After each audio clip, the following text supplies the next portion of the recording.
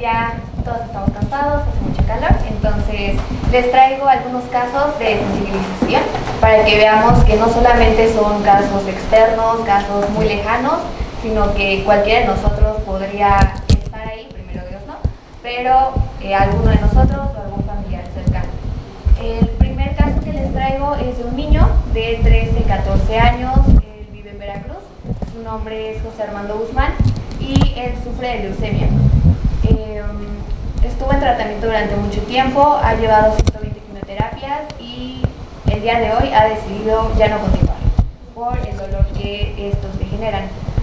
Mm, en las entrevistas que se le hacen a su familia eh, se menciona lo doloroso que es para la madre no solamente ver a un niño, su hijo, eh, sufrir esta enfermedad, sino verlo constantemente mal por las quimioterapias.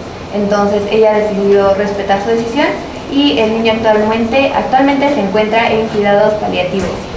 Otro caso es de Víctor Escobar, ya lo mencionaban anteriormente, un caso muy famoso en Colombia, donde un hombre de 61 años es sometido a este procedimiento de la eutanasia recientemente por eh, un accidente que tuvo en su trabajo alrededor de hace 20, 30 años, donde quedó muy mal físicamente. Entre algunas de las enfermedades que tenía era enfermedad pulmonar, eh, hipertensión, problemas cardiovasculares, entre obviamente muchos otros propios de su edad.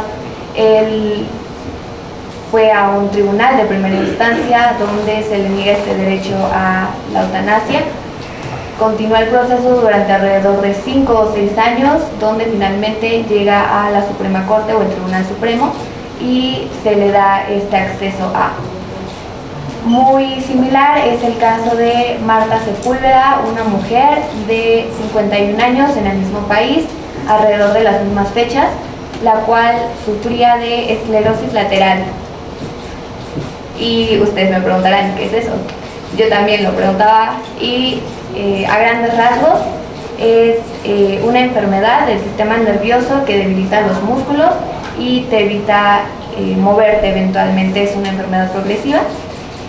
Son este tipo de casos los que llamamos casos difíciles porque nos enfrentamos a uno de los derechos más protegidos por todo el mundo, que es el derecho a la vida.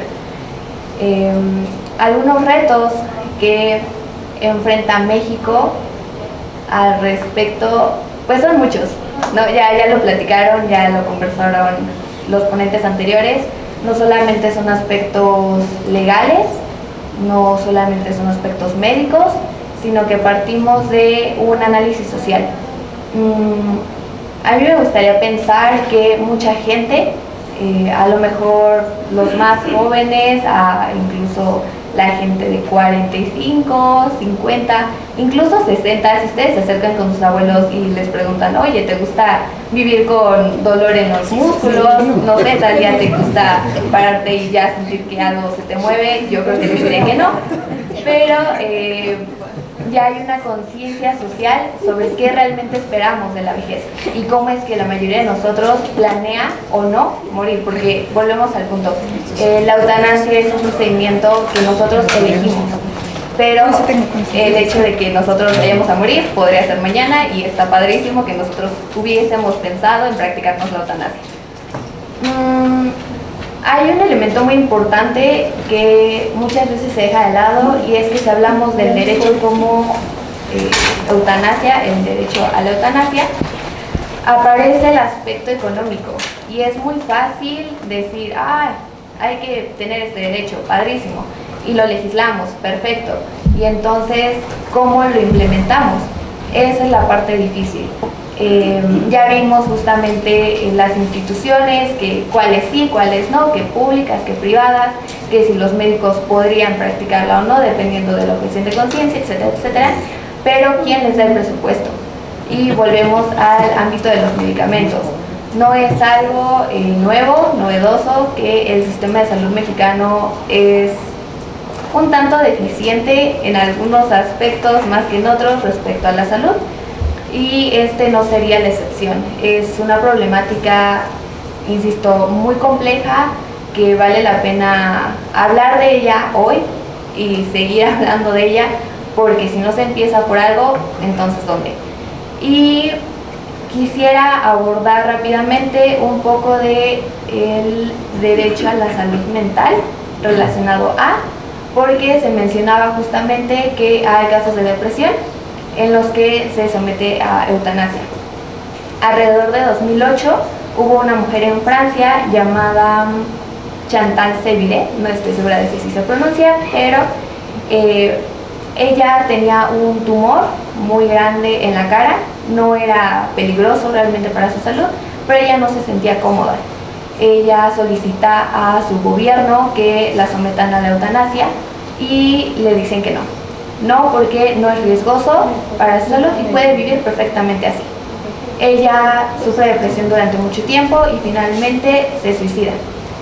Mm, este proceso, bueno, en especial este caso creo que vale la pena mencionarlo porque no es el primero, no va a ser el último y aquí la importancia de por qué sí o no debería hablarse de eutanasia en casos de aspectos psicológicos.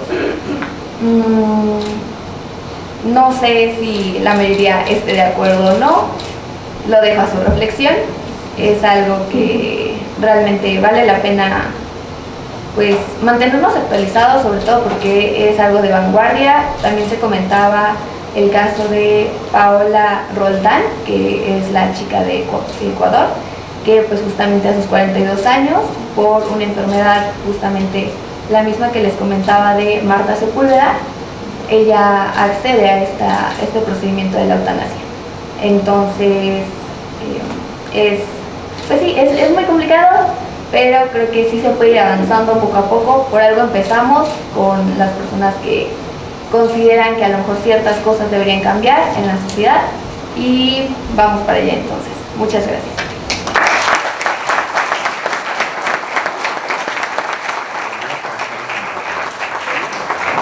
Muchísimas gracias a maestra Minerva Itzel Lara Colmena.